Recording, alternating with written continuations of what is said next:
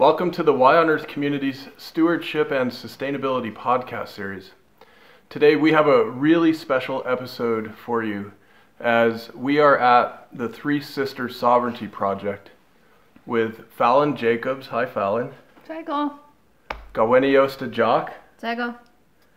and Tiffany Cook. Czego. And uh, what's happening here in central New York is an absolutely spectacular and a very important story.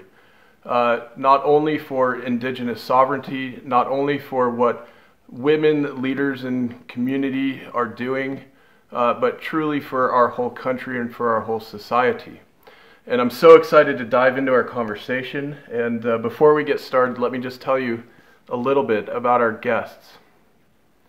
So, Tiffany Cook, immediately to my right, is a grandmother and mother of three. She runs a successful juicing and nutritional support initiative which brings healing through food to the tribe. Tiffany also has a farm and indoor facility where she grows all of her own microgreens for her business, helping people get off of their diabetes pills, heal, and detox from the poisonous environment surrounding them. Fallan Jacobs at the other end is a mother of four children who has worked closely with the community of the Akwesasne on economic development, labor market information studies, and small business support. As a fierce defender of sovereignty and human rights, Fallan spent 12 years in successful court battle against the Canadian Border Service Agency, precipitated by an egregious harassment at the border where she was subjected to unprotected uranium exposure, resulting in the loss of her baby. The agency was found guilty of six discrimination counts by the Canadian Human Rights Tribunal, the federal courts, and the Federal Appeal Courts of Canada. Fallan now works with Indigenous youth and families to rekindle, restore, and enhance their sense of cultural identity with land based teachings and community connections across the province of Ontario. Gaweniosta Jock spends most of her time as a homemaker caring for her five children. She's in the middle, if you haven't figured that out. Uh, we're, we're pointing this out a little bit for video. She has helped develop traditional support, cultural teachings, and preservation within the tribe. She is currently enrolled at the Native Education and Training College in a one year program to be healing and wellness counselor. Gaweniosta has always been compassionate about her people and community and wishes to continue working with women, men, and youth who suffer from domestic violence, sexual assault, as well as help others to regain their cultural identity. Gaweniosta is also a self taught seamstress and has a small business making traditional dresses as well as designing her own clothing line. Now, some of you may have heard of the Mohawk people, and we'll be talking about uh, what this whole movement of returning to the ancestral homelands is all about. And, and if I could, maybe Fallan, uh, ask you to kind of kick us off in uh, talking about what, what's happening here and, and, and why are we, we here at this particular place? Um, this is our ancestral uh, soils, our territories, and um, way back when, prior to colonization, this is where we had originally um, lived on the land here. Um, and you know, colonization happened, and reservations happened, and small boxes were placed in areas where we had to live on. Um, so we've had this beautiful opportunity to um, partner with the Waterfall Unity Alliance um, to come and return back to our ancestral soils to build our community back up. Um, I think that our youth need this and um, it's just really important to us. So we've actually established the Three Sisters Sovereignty Project. Um, you have anything to add to that? Um, no. I think um, once we get into this, you're gonna, we're gonna be talking about it also. Mm-hmm. No. You're good. Mhm. well, I'm wondering Gweniosta, could you tell us a little bit about your name and what it means and how that relates to the work that you're doing uh, for the community more broadly and also here for this project? Oh, well, Gomaniasta means um, I carry a message or I make good words. Um, I guess uh, now that I'm an, I'm a, an adult, um, I'm living up to my name and um, I have many messages. um, but as far as the work, um, I've been on my healing journey since I was 30, so for the past six years, and uh, now I'm just to the point where I'm ready to give back and help other people um, start the process and figure out put the pieces back together to their own puzzles and uh, just their healing journeys and Thank you. mm-hmm. Yeah. And Tiffany, you with healing have been doing a lot with Mhm. the plants in particular. Yep. And uh, you've been making very delicious and very healthful juices for people. And I got to try this myself the other day. It was amazing. Um, and thank you for that. You're welcome. Um, and I'm wondering if, if you you've shared with me a bit over the last few weeks about some of the conditions at the reservation, Mm-hmm. and maybe you could describe a little bit what's been going on there with the people in terms of some of the uh, industrial pollution and everything, and, and how you've been helping with the work you do with the plants. hmm Well, the green drink was designed to help with uh, detoxing the body, especially with the heavy metals, and um, um, it also is uh, helping people to get off a lot of their medications that they're on, and um, I think that with the environment, a daily detox is needed in order to even have any kind of, uh, you know, um, healthy life. Mhm. So, um, especially on the reservation, I feel like we need it every day. Yeah, and it's my understanding on the reservation that there's essentially a Superfund site resulting from industrial pollution, right? From a couple of different Yes. factories. Yeah.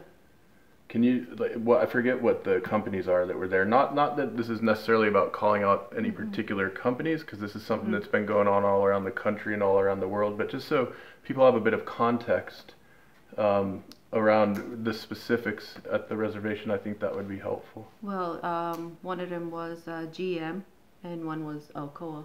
GM and Alcoa. They were plants. Yeah. right? And they were making all manner of industrial products, materials with incredibly toxic byproducts, right? And that were it's it's actually still there in the Mhm. ground, yeah, and they've covered it up, thinking that it's safe just by topping it off with topsoil.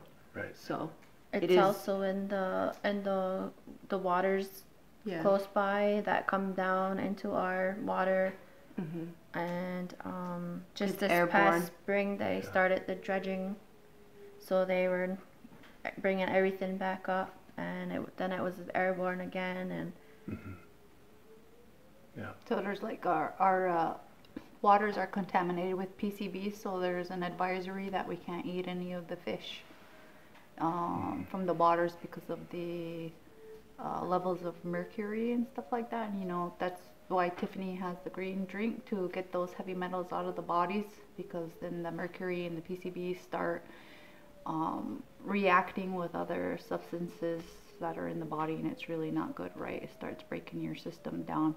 But um, Tiffany had mentioned Alcoa and who'd you say? GM. GM, and then there's also Reynolds, and then there's Domtar. So we mm-hmm. had a tremendous amount of um, toxic sites around us, but that's just really how it was planned out, I guess, not by us, obviously, mm-hmm. but that's really how they put sites onto lands, as they do it around reservation areas where mm-hmm. there's the indigenous peoples, you know, like not only do they put us put the reservations on like the crappiest soil areas, but they also put them on the boundaries in case there's any type of invasions that should happen from another country, they would have to go through the indigenous peoples first. So we're always the ones that are defending everything.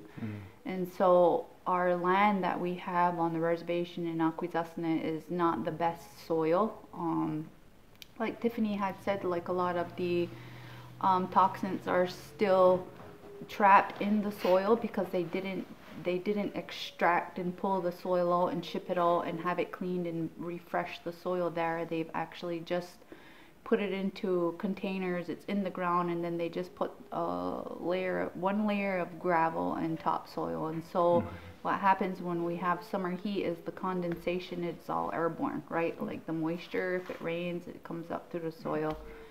Um, and these these these sites are like terrible. I remember being a little girl and seeing all these big smokestacks, right? And just billowing into the air. And even if we like wanted to go to like the closest little city which would have been the city of Cornwall um you would even s- it would, The would smell. smell bad. it was terrible. Mm, it was Domtar and that was a paper mill but it was just gross because they were just you know I don't know if there was any regulations or what but they all had their their um, pipes right into the water and so it was just like draining and it's international water, so who's gonna regulate it, right? Like, is it gonna be American, Canadian, New York, Ontario, Quebec? Like, who? Nobody.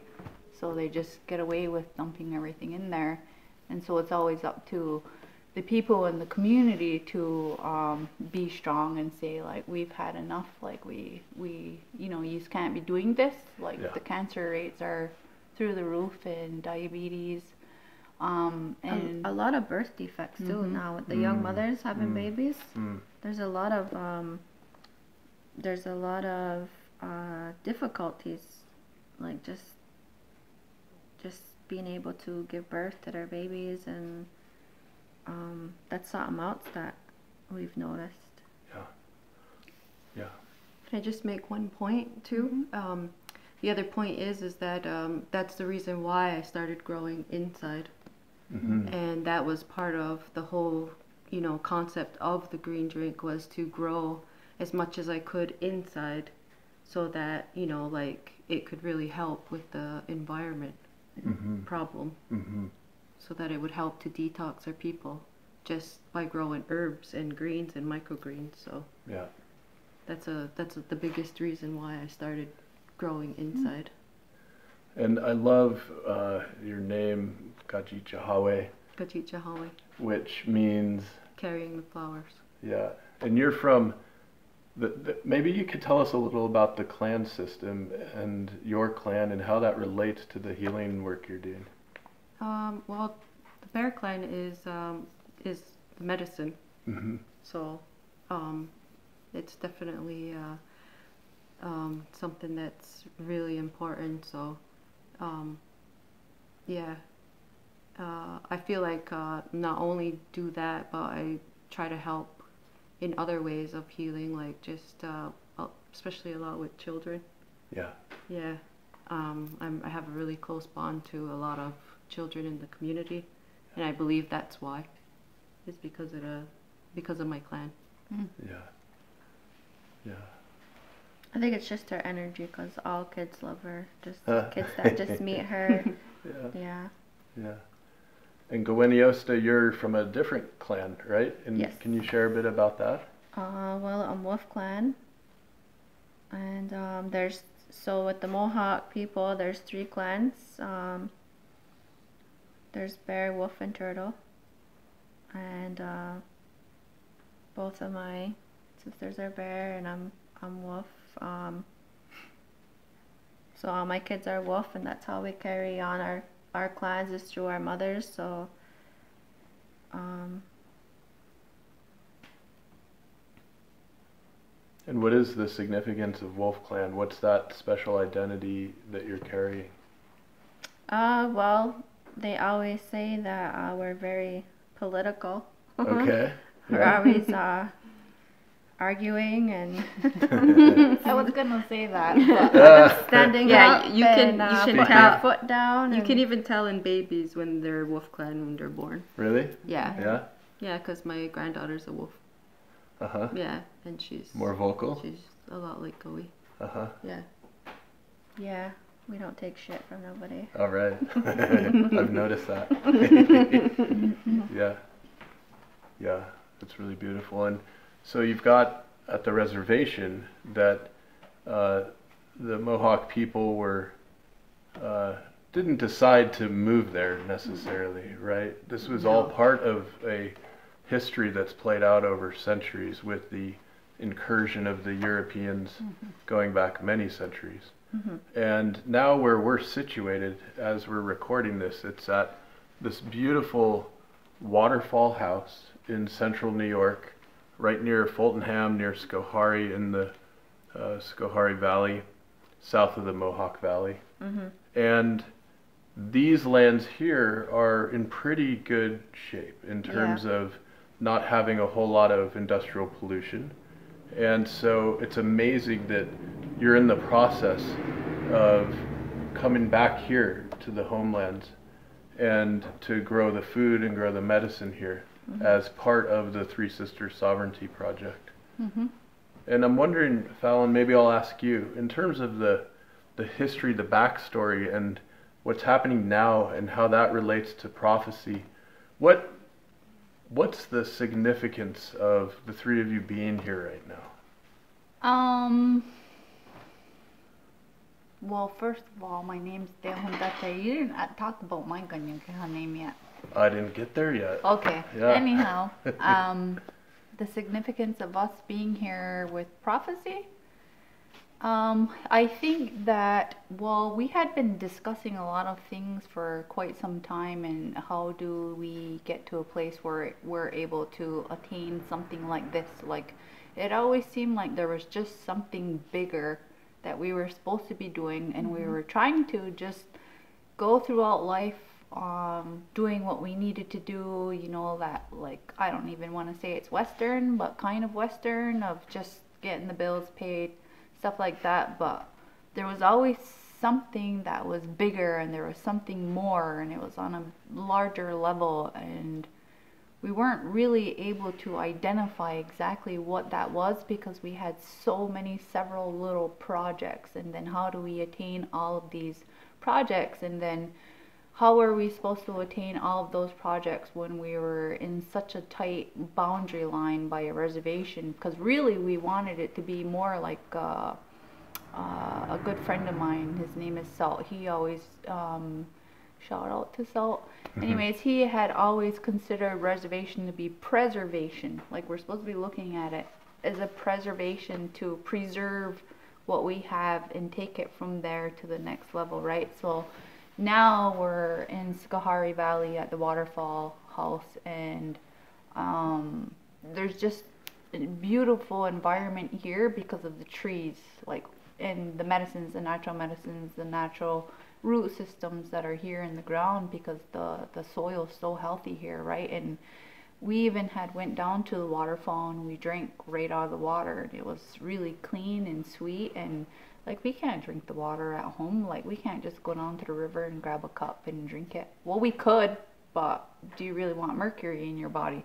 But here you're able to just scoop the water and drink it if you want. So i think that when we have a cleaner environment and we're eating cleaner the air is cleaner our thoughts become cleaner um, and we're able to move forward with all of our projects. And that's really um, everything that's natural because we're not industrial people. We we see another way of moving forward where it's a little bit it's sustainable on on the ground level because we are natural people. We recognize that we are nature. We're a part of nature. We're not we're not above nature And Deahundate, I was gonna ask Yeah. you about this, so my apologies I didn't get to it as quickly, but uh, I love what your name means also, and I think it really relates to what healthy landscapes yeah have, right? So, yeah and so Will you tell us what it means? Well, throughout my life, Dehundate means bright green grass.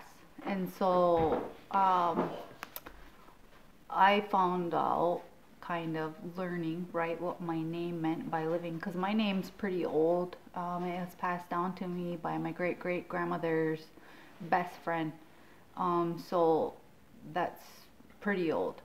Um, but what I'm finding out in my lifetime with my name is that uh, it's hard to accept when something's gloomy or dim because my name has bright in it. And so I'm always doing what I can to brighten the situation or shine some light on it and um, create that foliage, like that bright, you know, that bright environment. Like, and I think that's how I've become so positive and optimistic, is because it's part of my name. I think so.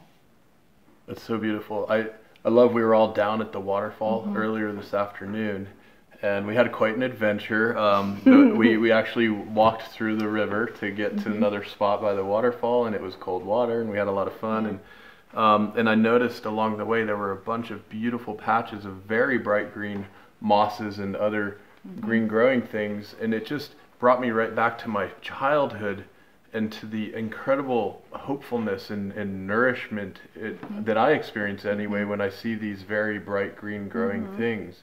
And I'm just I'm wondering, you know, how much that by itself is medicine for people. It, it feeds our spirits.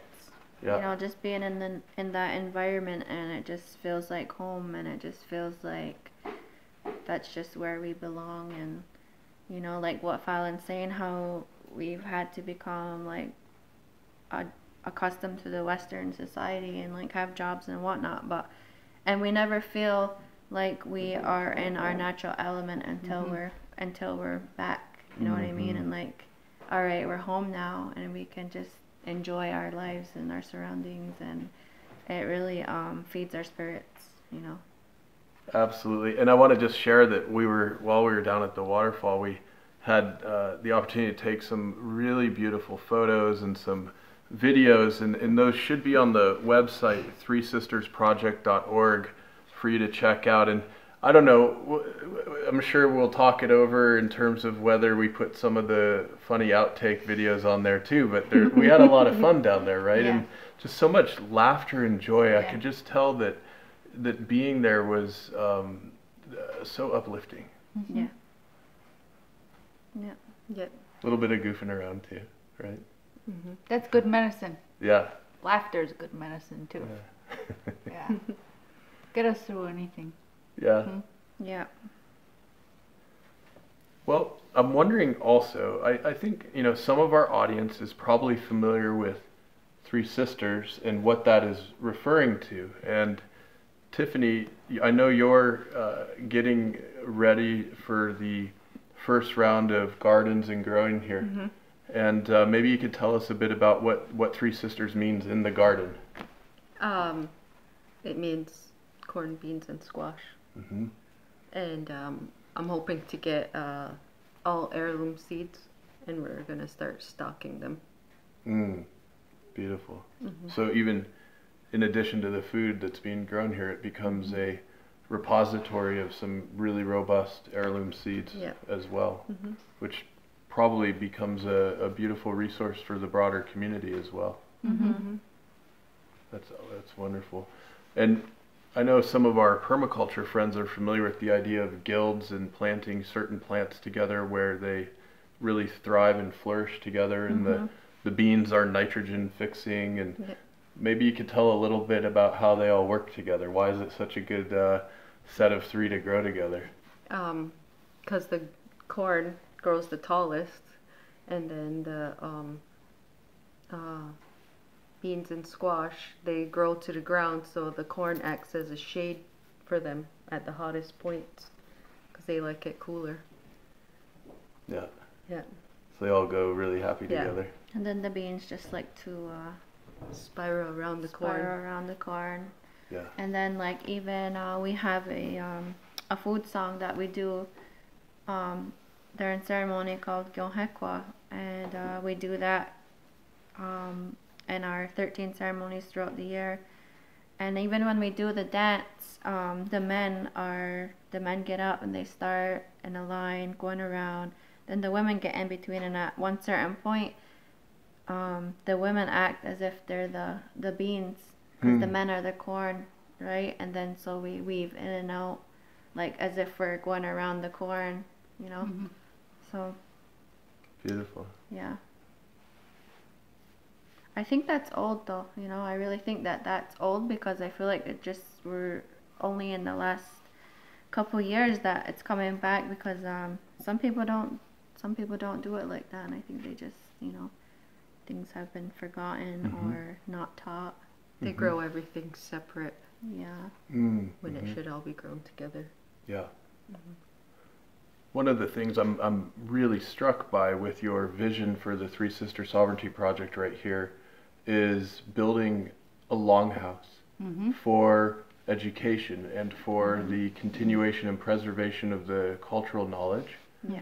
And I also know for you that the preservation of the language itself is essential. Absolutely. And Yes. uh, yeah, maybe you could describe for us what, what's going to be built here next year and what will this look like for people? Well, we hope to start the uh, longhouse come spring.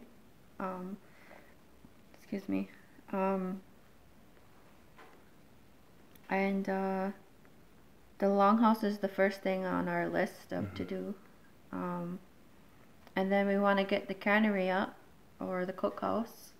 Uh, the cookhouse is where we uh, all the women go to cook, you know, for ceremonies or for any type of gatherings. Um, it's almost like uh, that's where everyone gathers, you know, to share food, to share like sus- substance and whatnot, and uh, um, nourishment. Um, and then we want to get the the language school up um, because that's what connects us to to both worlds. You know, this world and and the sky world. Um, that's our connection to the earth.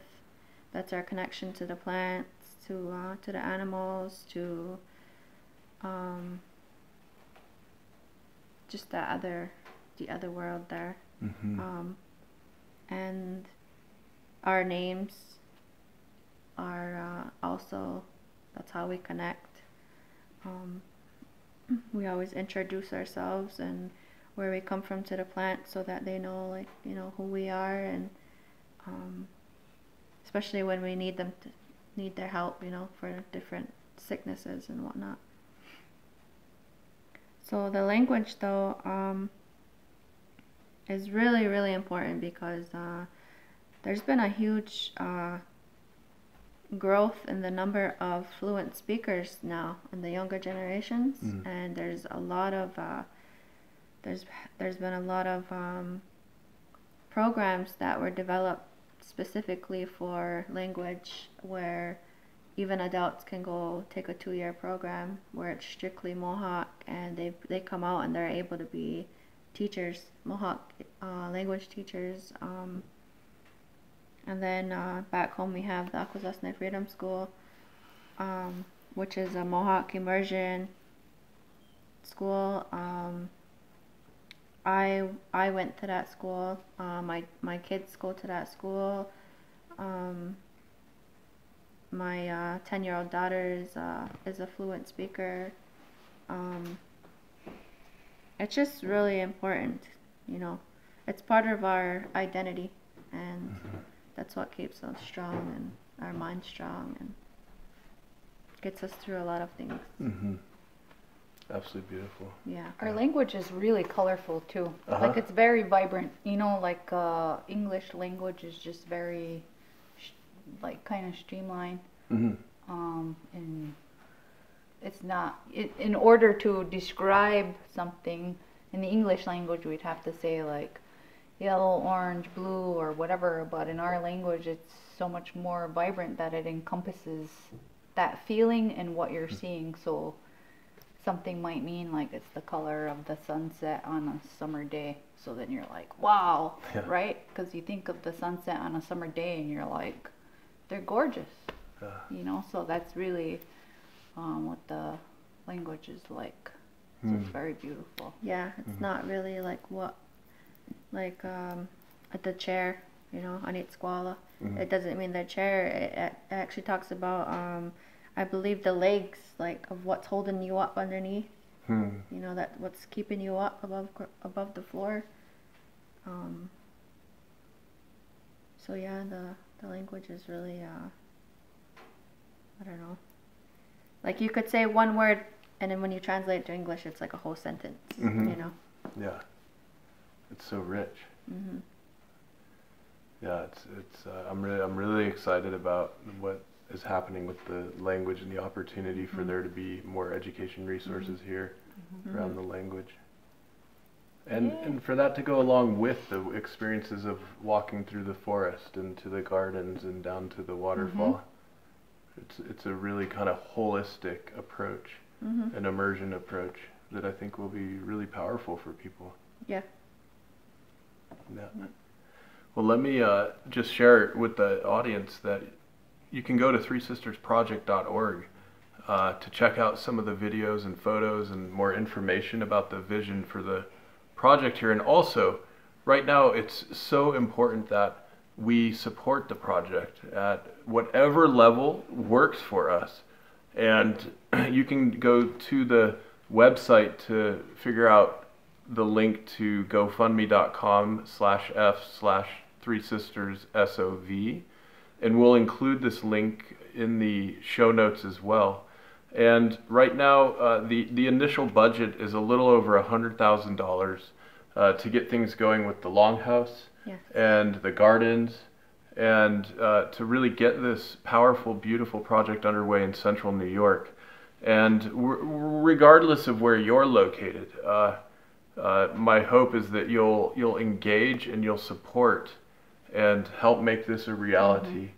And I, you know, one of the things I, I want to make sure to share for our audience to help connect a dot that I gather most people may not really know about. When Ben Franklin uh, was f- helping to frame up the Constitution for the United States, a lot of the core key ideas that he brought to the convention actually came from the Mohawk people and from the Iroquois Confederation. Great Right. law, right? And so maybe you could tell us a little about this, but I, I think this is such an important link to the the culture and the society we're sharing more broadly here in the United States and you know wherever we're finding uh, democracy around the world at this point. Well, the core, the core elements of the Guyana Lagoa, the great pieces or the great laws, righteousness. Peace, love. Well, they say power too, but it's Yeah. not. Power is not like you wouldn't say power like. uh Like you I- have a higher authority. Yeah, we don't Not like to use the power anymore because we see how people have Abuse it. interpreted power Mm. in another system. But so in our ways, power is like it's that responsibility. Yeah. It's a responsibility. It's your, um, like your inherent, um, It's your responsibility to who are not here yet. Mm-hmm. We Mm. we were taught as babies, we always have to look out for the next seven generations. Like that's something that they teach us all throughout our lives. Mm-hmm. Everything's based off of that. hmm and it's all about peace. It's all everything is about peace, like maintaining a peace, or you know, and um, using your voice. You know, and and how we come to make decisions is through consensus. Mm. It's not. Uh, we don't like vote in with uh, ballots and say whatever. It's just it's a, it's a lot of dialogue and conversations that have to happen to come to a consensus. And if the people don't agree on something on that night, then the issue is put under the pillow for the night, and then you come back to it the next day, or however long it's going to take to for your community to come to a consensus to be able to make a decision to move forward hmm and so um it so that's part of peace right because everyone's voices are heard and then your peace is always just something that you've always done and i mean if you're having a hard day or you not a hard day but if you're gonna disrupt the peace then maybe you should go be alone in the woods somewhere or go Mhm. fasting or go take care of yourself your self-care whatever that looks like so that um, you can keep that skano that peace within you so that the peace you have peace around you you know so that that's not like uh you just keep the peace Yeah. It's so important, right? Even when we're preparing food for ourselves, for our Mhm. family. if we're in a bad space to take some time to Mm-hmm. adjust that, right? Yeah. It's such an important practice. Even when I sew Yeah. something, you know, because my energy goes into the whatever I'm making, and Intentions. Yeah. Good intentions. Keep your intentions well, right? Because otherwise, I mean, you put something not so well out, it's gonna come right back. So Yeah. just do your work, your inner work with issues. If you have issues, take care of them, heal them, Yeah. and move forward so that you're just peaceful, peaceful and joyous. Yes. Yeah. That sounds fun. Mhm. Well, you I saw you sewing earlier today. Some amazing, amazing skirts, and some of the pictures uh, taken at the waterfall. Obviously, you guys were wearing these absolutely beautiful garments, and yeah. um, you were doing stitch patterns I didn't even know existed. Um, it's incredible what you're creating and what you're sharing, and I, I know if folks support the project at a certain level, Mm-hmm. um, they'll be able to get a skirt themselves. And uh, anyway, tell us a bit about what what's that for you when you're making these these beautiful skirts and garments. What what's that process like? Uh, well, I, I, um, it's actually a very long process because some, I don't know if people expect, uh, to just say, okay, I want a dress, and somebody just hurries up and does a dress real quick. Um, I can't do it. Like I, I, I take a lot of time and I really look at the fabric. Like, does this, is this gonna suit this person? You know, is this gonna look, really look nice on this person? Um, do these colors, you know, match the person well? Um, and I'm not gonna make something where I know they're not gonna be happy with it or not even want to wear it. You know. Mm. So um, I'm very detail oriented, and so that's kind of my uh, shortcoming a little bit because that does slow the process down. Mm. um, just because sometimes I think about it too much. Like, is she really gonna like this? You know, um, or even them. Because I don't only make skirts, I make all kinds of uh, clothing, traditional clothing for men, for kids, um, everyday wear. I've done um, clothing lines for um, couture, uh, high fashion, um, ready to wear. That's really my passion is the ready to wear and Mm. the high fashion stuff. Um, but as far as the skirts, um, I really enjoy making them. You know, um, excuse me. I go to uh, a lot of the quilt shops, and I really I get the uh, the good material, and it's really got to speak to me or like pop out at me, and Yeah. yeah, The ones I've seen are, are exquisite, and, and the color combinations are they're extraordinary. I mean, it's like you're painting with a painter's palette. Yeah, I've always been um, I've always been an artist um, since I was a girl, um, high school. I've always been uh, into art and different things, um, and I just think it was because of the school, the Freedom School. I remember um, I don't know if anybody's familiar with Gajit Juni Fox. Mm. Um, that's who I remember coming into the school when I was a little girl, and she always would teach us different types of uh, projects using different media and like clay and like painting, and you know Hmm. we got to do all kinds of stuff, and so um, they taught us how to sew, and um, and that's what my daughter is learning. My oldest daughter. Um, they're teaching them to quilt and cook and um, Life skills. life skills. Yeah. Yeah. So important. Mhm. So beautiful. Because now, because of that, I'm able to support my family. hmm You know. Um, Yeah. So that's keep this in mind when you're thinking about uh, supporting the project and you're thinking about what level you want to get involved at. And uh, you know, I want to take a minute to also give a big shout out to Bethany Yarrow. And uh, we, we right now we are we are at the Waterfall House, which is a an early 19th century uh, roadside inn, and, and it's just an incredible gathering space.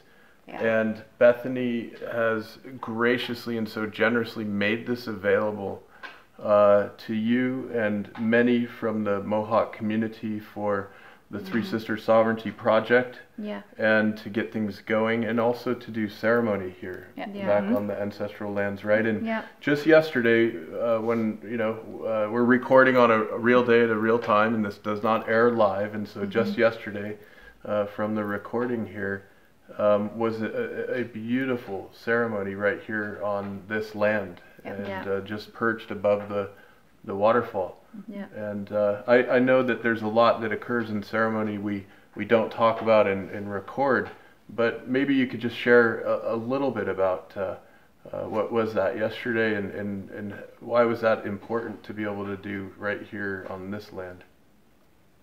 Uh, well, we did um, the moon ceremony, and uh, it was just a way to bring the women back here and connect spiritually with um, with the waterfall, um, the moon, um, because the moon is really important for for women, um, and that's our connection, you know, through our moon time, through child childbirth, um, through our plants growing, all kinds of things that you know we really need the moon. The, the moon plays a really huge role in our everyday lives, and it's really important that we acknowledge her and thank her.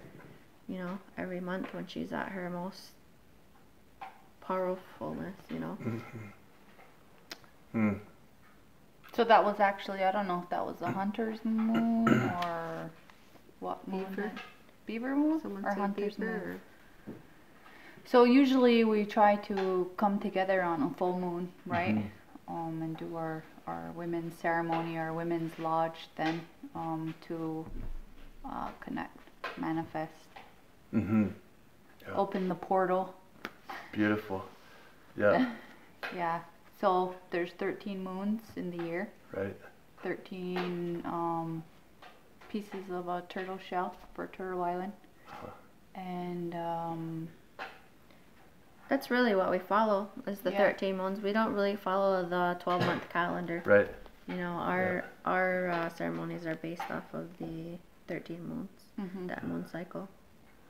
And even for like our viewers, I mean, if you think about when you're like tapping into the full moon or you want to keep track of the full moon on your calendars, it's always good to know when the full moons are because the the strength of the moon is very uh, magnetic and some people don't know that sometimes what they're feeling is just the full moon and how to let things go on the full moon because our bodies are like a large percentage of water content and the full moon has the power to create tsunamis off of the oceans Mm. you know the full moon is what creates the tides so our bodies are water so it's important that you take that time on the full moon to do what you got to do um, because it is pretty tight. It's intense out there around the full moon. If you don't know what a full moon is Mm. you know so.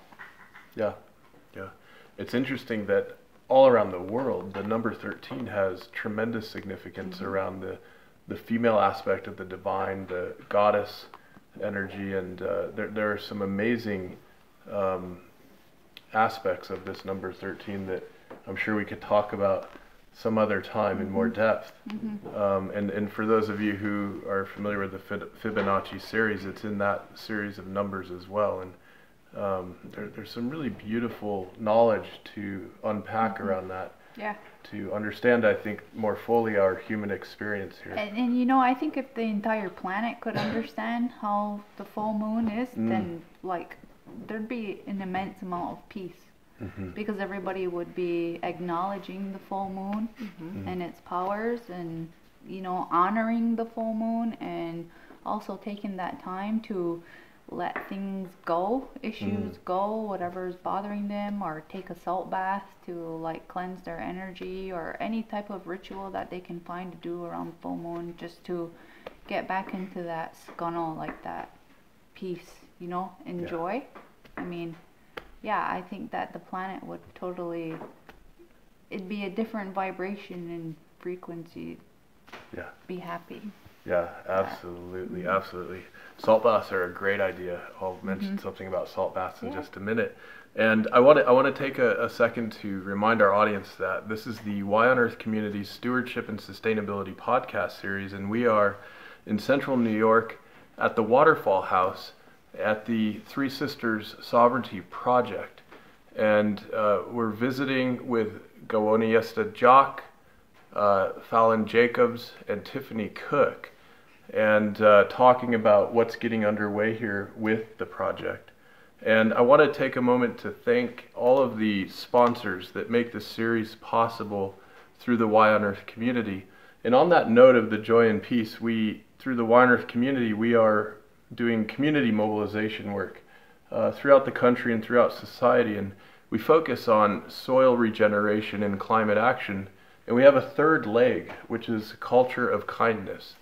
And it's so important that we each, as individuals, are cultivating this peace, this joy, this kindness with everything we're doing. And uh, uh, it's a lot of folks who are making this work possible. And I want to just give a special shout out to Patagonia, to Purium, uh, Beauty Counter, Earth Coast Productions, the Lidge Family Foundation, the International Society of Sustainability Professionals, and of course, Waylay Waters, which is the handcrafted bathing salt, soaking salts, hemp infused uh, aromatherapy that uh, are, are just a beautiful medicine, a beautiful way to help yourself uh, relax after a long day or uh, recover from some aches and pains or whatever it might be, right? It's uh, really wonderful. And we, we have some special links with Beauty Counter and Purium. If you go to the yonearth.org website, and you want to purchase uh, from those companies using the Y on Earth link or code, uh, some of those proceeds will come back and support the nonprofit. And of course, Waylay Waters, not everyone knows, I make these by hand. And uh, if, if you want to get involved with our monthly membership program at a certain level, you can uh, sign up for our monthly uh, Waylay Waters uh, salt bath program and get those mailed to you on a regular monthly basis.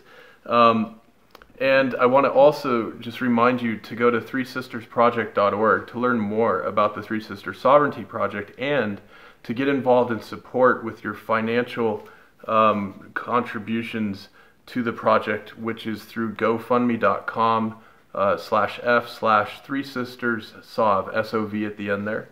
And um, wow, I, I, I'm just, I'm, I'm so thrilled about everything that's getting underway here. And I'm really excited we've got this opportunity to sit and visit a bit with, Yeah. with our audience and get some more folks involved with what's happening.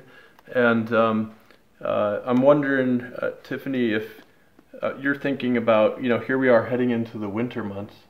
And when you're thinking about coming back uh, through the springtime and what's going to be happening here, what what do you envision that is maybe most exciting or brings you most joy about what you foresee next year? Um, I really just can't wait to get the gardens going Mm-hmm.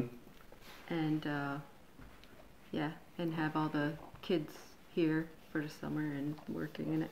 Mm-hmm. Can't wait to sing our songs, our Yes. seed songs. Yes. Yes. Absolutely beautiful. Mm-hmm. Well, and I know after Hunter Moon, soon comes one of my favorites. I think the Rest Moon. Mm-hmm. Oh I li- yeah. I, like that idea. And then Hibernation moon. yeah, the hibernation Yeah, moon. that's the one that gets me. It's coming up. and then soon after that is the planting moon, right? The, the the activities of soil, of course, is very active in the winter, and it's not too far off now that uh, we're getting some of those seeds started, right? Yep. I'll plant a lot inside and get them started probably like February. Yeah, So. right around the corner. Mhm. Yep. Yeah, beautiful. And I'm wondering before we wrap up our conversation for today, is there anything else any of you would like to share with our audience about the project, about your work, about your vision for the future? The project's awesome. Go fund me. Yeah. Um, well, I just think that we're just at a beautiful, maybe uh, a beautiful point um, where you know we're looking we're looking to move forward with the project um, just to help heal the people um, our future really and it, it's not it doesn't have to be so specific we're very friendly people and we're very open you know so if any if visitors or anyone who wants to come and learn more or stuff like that like we're always open to that. Mm, hmm beautiful. I'm just looking forward to bringing our people back and bringing them home and um, just being able to get reconnected and you know just just to be able to um, find that missing piece to their puzzle and really um, because for for a lot of us you know we we don't know like we don't know that places like this exist or that we even have an opportunity Mm, you know, to be able to come back, you know, and like um, Well, yeah, because before, like we're we're we've had we've had some history, right?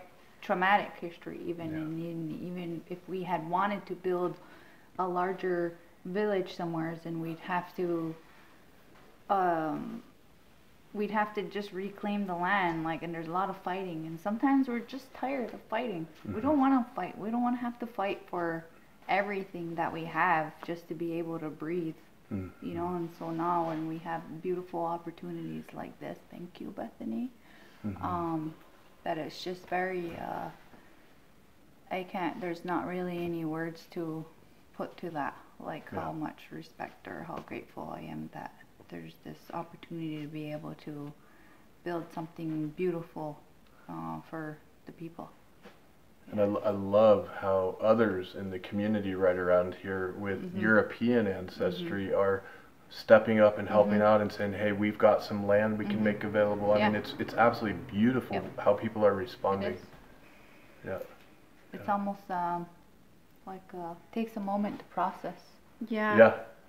It does, especially because of you know what we've been through and what Mm-hmm. it normally takes for us to, you know, want to do something like this. You know, Yeah. where we are really used to having to fight. Like that's even being back home in Akwesasne every day, we have to fight for who we are and fight for what we believe in, and we're constantly fighting in Mhm. that flight or fight mode. Yeah. You know. That really gets in the way of the joy and peace thing I've noticed. yeah It For me- does. for me, It you know, does. you, you, you want to use your energy to create or build Yeah. or you know manifest or in a helpful way you don't want to have to change your energy to have to fight to Yeah. you know and so there's like two different there's many different ways you could use your energy and why not use why not spend your Mm. your time or your essence um, during your younger years to put in the work at that time and um, create and build right Yes. Yes. and really, it's just, just like that in Akwesasne because, uh, like, the population's growing and the land is not growing and the land is sick there. yeah. And so, like, the people, you know, it's just, Naturally, People are our people are multiplying. sick too. Mm. yeah, so. Yeah. Well, I absolutely admire the courage that each of you shows and your leadership. And from my perspective, it's it's it's a real uh, humble honor to have an opportunity to be a part of this in a small way, and to help share the story of what you're doing. And I, I know there are a lot of folks in our Y on Earth community living in lots of different places who as I've mentioned just a little about this project, are so excited to hear about it. And I know there are a lot of folks who will want to hear more as things are developing. hmm So uh, just a, a, a big, huge thank you uh, for doing what you're doing. And uh, thank you for taking the time to visit with us and share Nyawakoa. share a bit with us. Can I say that? Yeah. Say it. What is it? Nyawakoa. Nyawat Goa. That's a big Yeah. thank you. Nyawat Goa. Yeah. Nyawatkoa. And uh, I'm also lear- learning a few words slowly but surely, and I know the short way to say goodbye, but maybe before we sign off, we could say a little bit of a, a blessing or a longer goodbye uh, in, in the Mohawk language if you guys would like to. Or till next time. Yeah? Well, when we say ona, that means goodbye. Okay. Um, we also say onagiwahe, like I'll see you later. You know. Onagiwahe. Yeah. Um, our goodbye is pretty short, but when we want to, when we know we're gonna see you again, maybe later, today, tomorrow, Yeah. onagiwahe. Onagiwahe. Mm-hmm. And how do we say thank you for all of your support? Um, Nyawakoa. Um, just Nyawakoa, you know, like that, that word really speaks, Yeah. you know, a lot. Cool. Beautiful. Well, before we sign off, is there anything you guys would like to say? I already said what I wanted to say. Mm-hmm. No, I'm, I'm just really, um, excited to really get the ball rolling and get right into this and, um, I just want the people to really know that, you know, there's another, there's a place. Because a lot of people are in, there, it's starting to, to, um, like, what are we gonna do? You know, a lot of people are asking themselves, what am I gonna do? What are we gonna do? You know, so I just can't wait to let them know that there's a place, you know. With lots of medicine and pine and clean water and fresh Clean air. water. A lot of deer. Yeah. And Tiffany, anything you want to say? Um, I think basically we're planting the seed for our future. Yeah. It's like people that plant a tree never ever get to enjoy the shade of that tree. They're Mm. planting it for our future, Mm. our future grandchildren, Mm-hmm. great grandchildren. And really we're um we're just you know, um fulfilling our our responsibilities as as mothers, Mhm. as caretakers of the land. Um you know, we're doing what this is what we're supposed to be doing, Mhm. you know. Beautiful. All right. Well, thank you so much. Yeah. And Yeah. uh, you know, with that, we'll we'll sign off for now. So, goodbye, everybody. Onagiwahe. Onagiwahe. Onagiwahe. The Y on Earth Community Stewardship and Sustainability podcast series is hosted by Aaron William Perry, author, thought leader, and executive consultant. The podcast and video recordings are made possible by the generous support of people like you. To sign up as a daily, weekly, or monthly supporter, please visit yonearth.org backslash support. Support packages start at just $1 per month. The podcast series is also sponsored by several corporate and organization sponsors. You can get discounts on their products and services using the code Y on Earth, all one word with a Y. These sponsors are listed on the yonearth.org backslash support page. If you found this particular podcast episode especially insightful, informative, or inspiring, please pass it on and share it with a friend whom you think will also enjoy it. Thank you for tuning in. Thank you for your support. And thank you for being a part of the Y on Earth community.